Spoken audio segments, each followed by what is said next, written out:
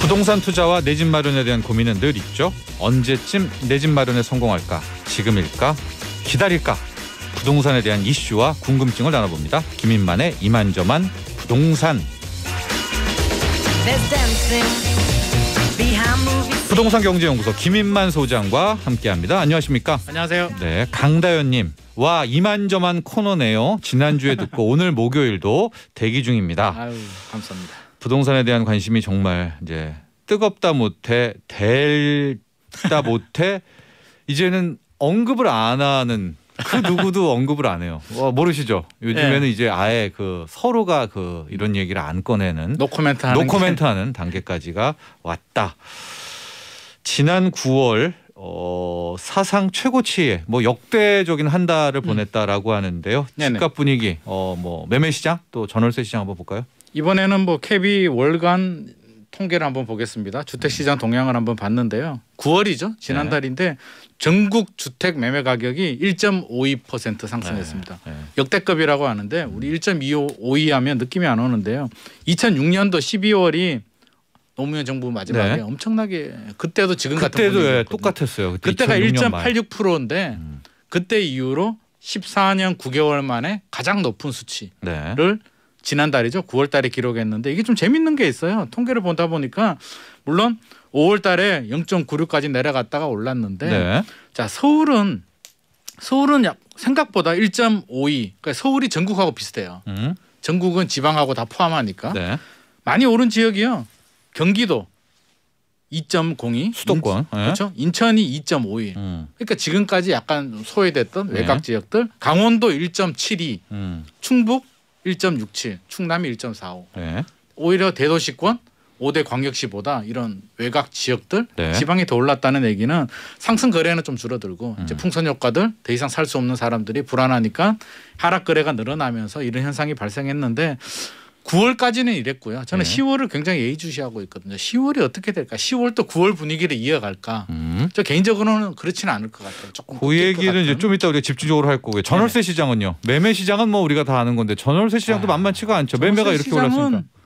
솔직히 말씀드리면 네. 지금 답을 잘 못 찾고 있는 것 같습니다. 지금 예. 뭐 계속 오르고 있고요. 예. 앞으로도 더 오를 것 같고 저는 매매는 거래량도 굉장히 줄어들었고요. 예. 좀 안정이 될 것 같아요. 시간이 음. 지나면 전세는 반대로 갈 것 같습니다. 오늘 금융위원장께서도 음. 실수요자 대출 규제를 더 강화하겠다라는 말씀을 하셨거든요. 네. 그래서 대통령께서는 좀 뭐 고려를 하라라는 음. 멘트를 좀 주셨는데 금융위원장께서는 실수요자도 더 강화해야 된다라는 발언을 해서 전세 대출 규제요. 전세 대출 규제를 더 네. 강화한다라고 해서 결국에는 저는 반전세가 더 활성화될 것 같고요. 아 오히려 잡, 잡히는 게 아니라. 그렇죠. 전세 가격은 어느 정도 상승폭은 둔화될 거예요. 왜? 음. 아니 전세 자금 대출을 못 받으니까 올려줄 수가 없는 거고요. 네. 집주인들도 올려 받을 수가 없는데 네. 가만히 있느냐? 가만히 있을 수는 없고요. 결국 반전세. 야 월세라도 내놔. 음. 그러면 세입자들 같은 경우는 결국에는 뭐 50만 원, 100만 원 이렇게 월세를 내야 되기 때문에 경기 침체에도 더 영향을 줄 거. 아무래도 소비를 더 줄여야 되니까 월세를 네. 내다 보면 그래서 우리나라 경제 전반적으로는 좀 바람직하지 않는 현상으로 갈 가능성도 있을 것 같습니다. 자, 요 두 가지 얘기를 함께 짧게 좀 정리를 해보면은요. 9월이 네. 2021년 9월이 역대급이었다. 네, 마치 2006년 12월을 연상케 하는. 저는 개인적으로 예. 예. 공교롭게도 그래서. 그래서 네. 지금 나오는 것이 네.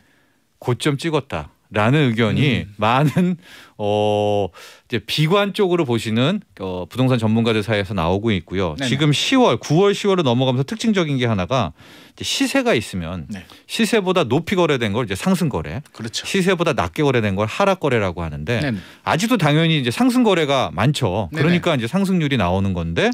추세를 보니까 음. 하락 거래량이 빠르게 올라오고 있어서 네. 10월에는 하락 거래가 더 많아져서 네. 소위 말한 지난 9월이 고점이고 10월부터 집값 하락의 시작이 된다. 마치 2007년부터 음. 큰 틀에서 집값이 떨어졌던 것처럼 맞습니다. 이런 분석, 이런 예상 어떻게 보세요? 이게 사실 미래는 신의 영역이거든요. 네. 우리가 뭐 예측한다는 게 시간을 지나봐야 뒤돌아보니까 아 그때가 고점이었구나를 알게 되는데 물론 분위기상 그럴 가능성은 충분히 있습니다. 서울 네. 집값이 7년 연속 상승한 적이 없었는데 음.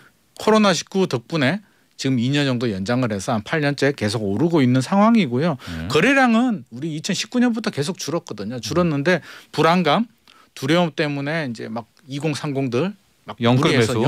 샀죠. 그 수요층이 우리나라 수요층이 뭐 엄청나게 두터운 건 아니잖아요. 네. 결국에는 어느 정도 소진이 되지 않았나 저 개인적으로 볼 때에는 그래서 네. 충분히 힘을 받고는 있는데 이게 10월이 변곡점이 될지 아니면 내년 대선 전까지 갈지는 좀 지켜봐야 될 것 같고요. 음. 변수가 또 있죠. 뭐 중국, 미국 네. 상황도 있고요. 네. 또 기준금리도 언제 어떻게 올리느냐에 따라서 예. 10월 달에 전격적으로 올려버릴지 다음 주 화요일입니다. 그렇죠. 예. 전격적으로 올리는데 뭐 예를 들어서 한 0.5 정도 올려버렸다. 음. 파격적으로. 그렇게 되면은 진짜 이게 현실이 될 가능성도 있을 것 같고요. 예. 적어도 11월 정도에는 저는 올릴 것 같거든요. 저 10월 개인적으로. 아니면 11월에 한 번은 이제 그렇죠. 그래서 같은데. 10월일지 11월지가 이제 좀 관건이긴 한데 예. 제가 한국은행 총재면 좀 파격적으로 시장 예측을 뒤엎어서 한 10월 정도에 먼저 할 것 같기는 한데 그리고 폭도 0.25%저 포인트가 같으면 아니라 0.5를 할 텐데 이게 0.5% 포인트. 부동산만 바라보면 그런데 이게 좀 위험할 수도 있어요. 그렇죠. 과격한 정책을 하게 되면 반작용이 생기게 되고 예. 반대의 두려움이 생기게 되면 통제할 수 없는 불능 네. 상태로 갈 수도 있기 때문에 제가 말은 이렇게 하지만 굉장히 좀 위험한 발언일 수도 있습니다. 네.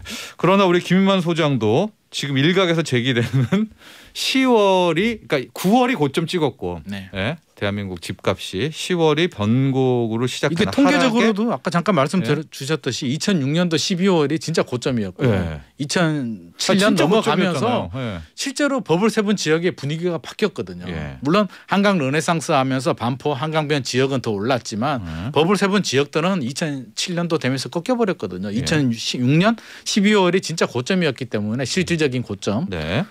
마침 공교롭게도 우리 15년 만에 14년 9개월 만에 최고점을 찍었기 때문에 좀 예의주시는 해야 될 것 같습니다. 네. 그리고 이제 전세대출 규제 관련해서는 어제 문재인 대통령이 실수요자한테는 피해 없게 하라 이야기를 했는데 고승범 금융위원장은 어, 전세대출 규제를 강화하겠다라고 이야기를 맞습니다. 했습니다. 그래서 이게 실제로 지금 어떻게 되는지는 앞으로 지켜봐야 될 텐데 방금 김만 소장도 이제 이 문제점을 지적했죠. 네. 반전세로 가게 되면은 네. 이거는 정부가 원하는 것도 아니고요. 그렇죠. 예. 국민들 특히 세입자분들의 피해는 커질 대로 커지고 그런 거를 좀 생각해야 될 것 같아요. 갈 수밖에 예. 없을 것 같습니다. 집주인이 안 올릴 수는 없는 거고요. 예. 만만한 게 반전세인데 세입자 입장에서도 받아들일 수는 없어요. 받아들일 수밖에 없습니다. 갈 데가 없거든요. 지금 전세 매물도 없고요. 전세금을 올려줄 형편도 안 되고요. 네. 대출을 안 나가니까. 결국에는 50만 원, 100만 원 올려줘야죠. 올려주게 되면 여러 가지 부작용들이 생기고 이게 와 이게 네. 월세가 고착화 되지 않을까 하는 두려움도 그렇습니다. 느끼고 있습니다. 고승범 금융위원장도 분명히 진짜 만에 하나 세입자들이 반전세로 울며 겨자 먹기로 하게 될 경우에는 전세 대출 규제를 한 그 명분 자체도 맞습니다. 상당히 없어진다는 것을 알아두시고요. 자 오늘 본격적인 이야기입니다. 김포 왕릉 아파트. 아 이거 정말 찬반도 뜨겁고요. 부동산 네. 카페에서는 많이 언급이 되고 있는데 네네. 일단 개요부터 좀 들어볼까요? 인천 서구 검단 신도시 근처예요. 행정구역은 김포인데요. 조선 왕릉 장릉 근처에 문화재 보존 지역에 문화재청 허가를 받지 않고 아파트를 지었습니다. 네. 지어서 이제 대광 대방건설 대광 금성 백조 세계 건설사가 문화재법 위반으로 이제 고발을 당했습니다. 문화재청이 고발을 했는데요. 네. 문화재청은 자 문화재 반경 500m 이내 안에 문화 역사 문화 환경 보존 지역에 아파트를 지을 때에는 사전 심의를 받아야 되는데 받지 않았다라는 입장이고요. 네. 건설사들은 강력히 반발하고 있는 입장인데 어떻게 됐든 간에 중단됐어요. 19개 동이 공사 중단이 되면서 음. 열아홉 개 동이에요. 네네. 그럼 이제 사이즈도 크네요. 사이즈가 한 3,400 가구 정도 됩니다. 아. 굉장히 크고요. 예. 동이 총 44개 동이에요. 예. 44개 동 중에 19개 동이 그 보존 구역에 들어가면서 공사 중단이 돼 버리면서 음. 굉장히 좀 이상한 모양새가 돼 버렸습니다. 제가 실제 사진을 봤거든요. 이게 네. 제가 지난주였나요? 지지난주에 아시는 분이 음. 자기 고향집 근처라면서 추석에 집에 갔는데 부모님이 사진을 보여줬다라고 보여주는데 네. 진짜 왕릉 왕릉에서 보면 아파트가 이렇게 올라가 있거든요. 그래서 음. 저도 깜짝 놀랐는데 이게 네. 지금 국민청원이 들어갔는데 국민청원이 뭐 5일 만에 10만 명이 넘고요. 음. 철거하라는 국민청원이에요. 굉장히 과격적인데 지금 한 20만 명 넘었다라고 하니까 어, 굉장한 논란이 되고 있는 상황입니다. 그렇습니다. 김포 왕릉 아파트 이제 이렇게 많이 나오고 있는데 이 왕릉은 김포의 장릉이고요. 네네. 검단이라는 이야기도 검단 왕릉 아파트로 나오는 게 이제 검단과 이렇게 돼 이렇게 맞습니다. 붙어 있는 거잖아요. 네네. 그그 근처죠. 김포 쪽 인천 쪽에 가까운 거예요? 그, 그렇죠. 이게 원래는 네. 인천 도시개발공사 땅이었거든요. 아. 인천 도시개발공사 땅인데 예. 이제 팔았어요. 2014년도에 건설사에 팔면서 이게 왜 이런 현상이 발생했냐 그러면 이제 건설사는 그런 입장이에요. 인천 도시공사가 도시개발공사가 김포시청에 이제 문화재 현상 변경 허가를 받았다. 네. 이미 받았기 때문에 우리는 괜찮은 줄 알았다라는 입장인데 현상 변경이 뭐냐면 이제 공사 같은 거 문화재 의 현상 상태를 변경할 때에는 문화재청이나 지자체의 허가를 받아야 되거든요. 그래서 네. 받았다는 입장인데 문화재청은 또 뭐라고 말하냐면 2017년 1월에 김포 장릉 반경 500m 이내 높이 20m 이상 음. 건축물을 짓게 되면 개별 심의를 해야 된다라고 이제 바꿔서 고시를 했기 때문에 네. 니들이 안 지킨 거다라는 입장이에요. 그래서 법대로 한다면 문화재청 말이 맞습니다. 맞아요. 네. 네. 건설사들은 아마 인천도시공사가 일단 받았기 때문에 네. 추가로 자기들은 또 안 받아도 되는 것처럼 생각을 했을 수는 있습니다. 그게 네. 뭐 알고 그랬는지 그건 저는 모르겠지만 네. 그럼 법대로 하면 음. 건설사가 다시 한번 문화재청에 허가를 득해야 되는데 네네. 이 과정은 생략된 것이 맞고요. 네네. 그래서 문화재청이 이제 이렇게 주장을 하고 뭐 법적으로 이제 책임을 네. 묻게 된 건데요. 저희도 한번 찬반 투표를 받아 보려고 합니다. 지금 아파트는 이 장릉 근처에서 계속 건설 중에 있습니다. 그런데 이제 이런 문화재청의 주장대로라면은 몇 개 동은 아예 철거를 하거나 뭐 깎아 내려야 하거나 이렇게 되는데 어 한쪽 의견은 이런 겁니다. 이만 그렇게 되고 지켰기 때문에 또 기존 입주자도 있을 거 아니겠습니까? 네네. 아파트를 지켜야 한다라는 의견. 다른 한편에서는 안 된다. 또 선례를 남겨서는 안 되고 이 문화유산인데 네. 이 왕릉을 지켜야 한다라는 이제 두 가지의 목소리가 있습니다. 우리 굉장히 예, 좀 청취자분들 중에서 왕릉을 지켜야 한다라고 하면 왕릉 아니다. 일단은 좀 더 우리가 그 뭐 이거 다 어떻게 한 거냐? 이거 다 짓고만 올라가고 있는데 네. 아파트를 지켜야 한다라고 하면 아파트를 적어주시고 이유도 함께 적어주시면은 저희가 소개를 해드리겠습니다. 아, 그래서 이게- 추첨 통해서 음료 쿠폰을 드리겠습니다. 샵1035 50원 고릴라는 무료고요. 왕릉이다. 아파트 일단 뭐 수정 건설 뭐 해야 된다. 왕릉 아니다. 일단 아파트 공사는 하자. 아파트 이유와 함께 보내주시기 바랍니다. 아 의견이 반반 반반인 것 같아요. 것 이게 같아요. 예, 해당. 주민 아니더라도 많은 생각들이 있는 것 같은데요. 관점에 따라서 첨예하게 다르거든요. 근데 이제 이 장릉 네. 장릉이 이게 어느 분, 뭐 인현왕후라는 얘기도 이게 장릉이. 도대체 어떤 곳이죠? 예? 이게 이제 장릉이라고 하면 어, 장릉이 어디야? 김포 파주에도 장릉이 있고요. 김포에도 장릉이 있는데 네. 김포 장릉은 원종과 인원 왕후의 릉인데요. 어? 예. 그런 생각이 드실 거예요. 원종? 조선 27대 왕 태정태자 중에 문전사의 예성연중. 원종이 어디 있었지? 예. 라는 생각이 들어. 저도 그래서 찾아봤어요. 어, 네. 원종 나가고 역사 공부할 때 못 들어봤는데 찾아보니까 자 우리 14대 왕이 선조예요. 네. 어, 이순신 장군, 음. 임진왜란 발생했다. 명선. 예. 15대 왕이 이제 유명한 광해군입니다. 네. 광해군이고 16대 왕이 인조. 네. 인조 반정을 통해서 이제 광해군 물러내고 인조가 광인, 잡았죠. 효연, 그렇죠. 숙경영이죠. 원종이 어디 있는 거야라고 보니까 네. 광. 선조 다섯째 아들이 선조 다섯째 아들이고요. 인조의 아버지예요. 음. 인조의 아버지인데 아버지 정원곤인데 예. 인조가 이제 효심에 아버지를 이제 원종이 왕으로 추존을 한 거예요. 그래서 음. 실질적인 이제 왕은 아니었고요. 그러니까 광해군 다음에 인조인데 광해군 그렇죠. 형제였죠. 형제죠. 형제죠. 예, 예, 예. 형제인데 그러니까 이제 인조의 인조가- 아버지. 그렇죠. 근데 아마 그런 것도 있었을 것 같아요. 효심도 있고요. 자기의 정통성을 위해서 인조를 음. 물러내고 자기가 왕이 됐기 때문에 아버지를 원종으로 함으로써 자기의 정통성을 좀 세우려고 한 거 아닐까 하는 생각도 하게 됩니다. 네. 그런 이제 원 그런 왕 이제 음. 원종의 릉이 지금 아파트를 물러내게 음. 생겼으니까 굉장히 네. 논란이 되는 부분이고요. 네. 아유. 자, 근데 기술적으로 한번 볼게요. 지금 네. 아파트가 거의 다 지었습니다. 다 졌죠. 골자 다 올라갔습니다. 예. 그러면 현실적으로 만에 하나 문화재청에 따르고 이제 뭐 고발도 하고 그랬으니까 네.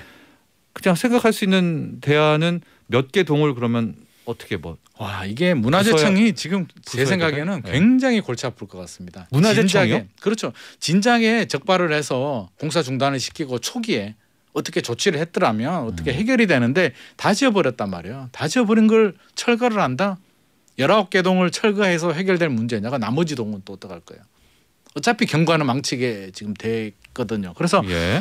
이게 철거하기도 굉장히 어렵고 또 문제는 뭐냐면 분양 계약자들 네. 3,400세대 아파트가 다 분양이 끝났는데 네. 내년 6월이 입주예요. 네. 입주를 앞두고 6월. 있는 네. 요즘 집값이 난리잖아요. 부동산 문제가 이렇게 내 집 마련이 시급한 상황에서 이분들은 그럼 어떻게 할 것이며 철거를 해버리게 되면 철거 명령이 내려졌다. 그분들은 또 어떻게 구제해 줄 거냐. 음. 이런 굉장히 어려운 숙제가 있고요. 그냥 내버려 둔다. 내버려 두게 되면 아, 그 입주한다 내년 6월에. 그렇죠. 입주도 하고요. 그냥 뭐 벌금 조금 때리고 예. 그냥 내버려 두게 되면 제2, 제3의 선례를 남길 수도 있고 더 문제는 뭐냐면 이게 문화유산이잖아요. 유엔에 지금 예. 등재가 되어 있는데 예. 이게 취소될 수도 있다라고 합니다. 지금 이게 한 개가 아니고요. 40개 릉이 예. 같이 뭉쳐져 있거든요. 유엔에 지금 등재되어 있는데 예, 예. 한 개가 잘못되면 전체가 다 취소될 수도 있다라고 해요. 그럴 가능성도 있기 때문에 음. 여러 가지로 지금 골치 아픈 상황이어서 답을 못 내고 있고요. 일단 중단 명령은 내렸는데 네. 이러지도 저러지도 지금 못하는 상황에 빠져 있는 것 같습니다. 근데 이제 공사 중단이 돼 있으니까 기존의 내년 6월 입주 자체도 조금 네. 네, 뒤로 이 입주자분들도 물러설 어쩔 수. 없겠죠. 네네. 네, 지금 이제 공사 중단됐는데 어, 김인만 소장께서는 이걸 어떻게 풀어야 된다고 생각하십니까?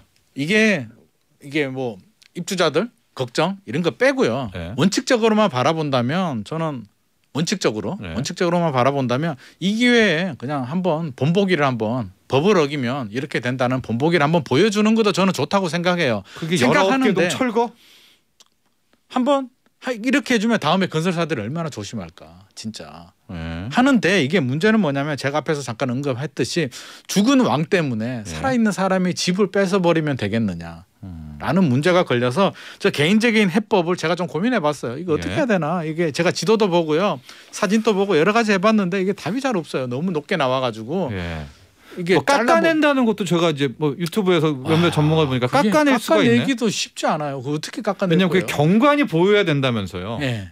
깎아낼 방법은 안 되나요 기술적으로? 뭐 기술적으로 지금 막 고민을 하고 있는데 쉽지 않을 것 같아요. 제가 볼 때는. 그래서 아무튼 천문학적인 과징금은 좀 해야 될것 같아요. 건설 회사들이 몰랐다라고 하지만 제가 볼 때는 몰랐을 리는 저는 없다라고 생각하거든요. 아니 음. 이걸 가지고 밥 먹고 살고 법무팀이 다 있고 있는데 네. 몰랐을 리는 없을 것 같고요. 천문학적인 뭐 과징금은 불가피해 보이고 예. 그러면 경관을 어떻게 하느냐? 그러니까 음. 아파트를 뭐 어떻게 철거할 수도 없는 거고 산 위에 이렇게 뭐 이게 뭘 세워 가지고 이렇게 뭘 할 수도 없는 상황인데 저 개인적으로는 우리 LA 가면 헐리우드 뭐 이렇게 뭐 표지판 네, 간판 네. 있잖아요. 예. 뭔가 좀 그런 식의 좀 멋있는 조형물을 가지고 좀 가려야 되나 하는 생각도 하게 되고요. 굉장히 좀 어려운 숙제입니다. 산을 높일 수도 없고요.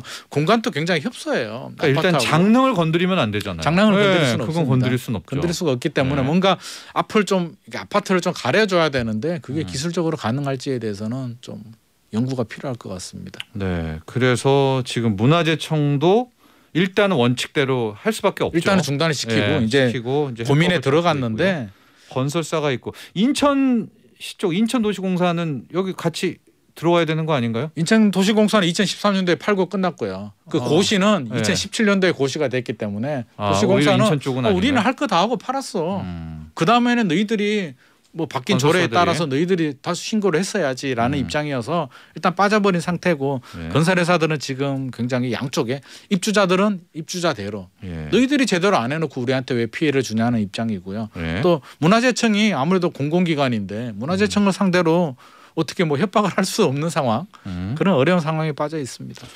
아이디어를 청취자분들에게도 좀 받겠습니다. 네. 예, 좀 얘기해 주시죠. 그래서 뭐 이렇게 좀 보니까 그 입주 예정 19개 동에 대한 분들을 아예 건설사에서 네. 이그 보상을 다 해주고 네. 뭐 청구적으로 해야 되는 것이 아니냐 뭐 이렇게 이야기를 하는데요. 보상을 해주게 되면 분양가로 보상을 해주느냐 프리미엄이 붙었으면 시가로 해줄 것이냐에 대한 네. 또 문제가 있을 거고요. 네. 이게 층수가 좀 이게 제대로 안 지었을 때 같으면 저 음. 개인적으로는 빨리 철거해 버리게 되고 뭐 아니면 상기 신도시 네. 입주권을 준다든지 그렇죠. 뭐 예, 그런 예, 대안을 다른 좀 쪽에. 마련해도 되는데 이걸 예. 다 지어버려 가지고 철거해 버리게 되면 또 이게 막대한 이게 손실 음. 이게 또 그런 문제들도 생겨요. 그래서 저 개인적으로는 저 개인적인 의견입니다. 네. 원칙적으로는 이 기회에 본보기를 한번 보여주고 주민들 피해 없게 예, 보상이나 이런 거를 그렇죠. 보상은 예. 상기 신도시 입주권을 준다든지 음. 하고 한번 내년 6월을 기- 그분들 맞췄을 텐데 그렇죠. 그래서 그런 문제가 그 생기는 거예요. 다시 거기 맞춰서? 전세 계약도 맞춰놓고 아, 또 맞춰주고요? 집도 있는 네. 사람들 팔고 다 준비를 했는데 지금 날벼락을 맞게 됐으니까 그분들은 아 죽은 왕릉 때문에 산 사람이 죽게 생겼는데 어떡하냐라는 입장입니다. 청취자분들 문자들을 소개를 하겠습니다. 이 조선 왕릉, 이 장릉입니다. 네. 예, 옆에 이렇게 둘러싸고 있는 김포의 이제 일명 지금 뭐 김포 왕릉 아파트 이렇게 네네, 통칭하고 있는데요. 네. 왕릉을 지켜야 하나 아니면 아파트를 지키냐. 6059번님 왕릉 문화재는 후손에게 빌려온 것입니다. 그러니까 다시 후손에게 네네. 줘야 된다는 뜻이고요. 의견이 진짜 예. 팽팽하네요. 최옥진님 아파트 내년 입주인데 일단 살 사람들은 살려야죠. 당장 본인이 이 아파트 입주해야 된다 생각해 보세요. 음. 사람부터 살려야죠. 그렇죠. 나머지 두 개 좀 읽어주세요. 자, 6086번 공무원의 행정 미숙을 왜 입주자 건설사가 피해를 봐야 되냐? 네. 60 6004번은요. 안타까운 일이지만 왕릉 법대로 해야 해주세요. 된다. 왕릉. 왕릉. 네, 왕릉. 왕릉입니다. 네. 법대로 해야 된다. 네. 1710님 제가 읽어 왕릉. 왕릉. 네. 설레를 남기면 창경궁에서 보는 풍경이 아파트만 아, 보일 겁니다. 그러니까 그렇죠. 설레 얘기를 또 많이 해주시는 것 같고요. 김용란님 아파트 아파트를 지켜야 한다. 왕릉을 파낸 것도 아니다. 그러니까 이제 왕릉은 있으니까 그렇죠. 예, 이런 뭐 경관 좀 안 보이는 거 가지고 이렇게까지 해야 되냐 그런 네. 입장이겠죠. 네. 5949번님 아파트 조상님들도 음. 후손 후손들의 주거 안정을 원하실 겁니다. 아, 아, 파트는 그대로 짓고 보완 대책을 마련해야 될 듯 싶네요. 어, 네. 저 갑자기 이제 조상님들 말씀하셔가지고 김일수님 아파트 내 집 마련의 꿈을 안고 기대에 가식할 텐데 너무 안타깝습니다. 1366번님 아 이건 이제 아이디어인데요. 아, 의견들 예. 기술적으로 가능하다면 높이를 한번 줄여보죠. 이런. 야 이게 기술적으로 거의 철거잖아요. 높이를 줄인다는 게. 네. 그러면 예를 들어서 30층을 지었는데 한 5층까지로 그렇죠. 나머지 층을 다 네, 그 없애버려야 아이디어가 되는데 있던데. 차라리 철거하는 게 더 쉽고 빠르지 않을까요? 저 개인적으로 그냥 폭파시켜서 철거해 버리는 게 빠르지 않을까 하는 생각도 아, 드는데 자를 수가 없으니까 돈이 더 많이 아파트는. 들것 같아요. 네. 돈도 더 많이 들고요. 그러면 나머지 사람들은 또 어디로 가요? 또 아. 그래서 아 이거 어렵네요. 7763번님 19개 동은 20m로 낮추고 부족한 주택수만큼 건설사에서 인근의 부지 매입해서 음. 입주민들에게 보상해야 된다. 다양한 아이디어들이 많이 나오고 자, 있습니다. 9027번님이 이 주민입니다. 자주 장릉으로 산책 다니는 풍무동에 사는 아. 주민입니다. 아파트고 가리고 있으니 답답합니다. 음. 그런데 원상 복귀가 될지는 의문이네요. 그러니까 우리 이 9027번님도 다 졌으니까 네.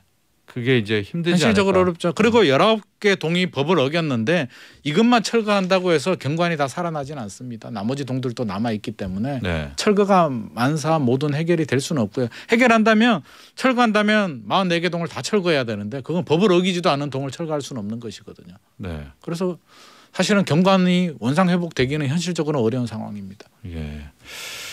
자, 이 19개 동에 어 전체는 44개 동 3,400세대가 넘습니다. 네. 어떻게 이제 처리할지에 대해서 계속 지금 문화재청과 또 이제 건설사들이 협의를 하고 또 고민을 하고 있다라고 하는데요.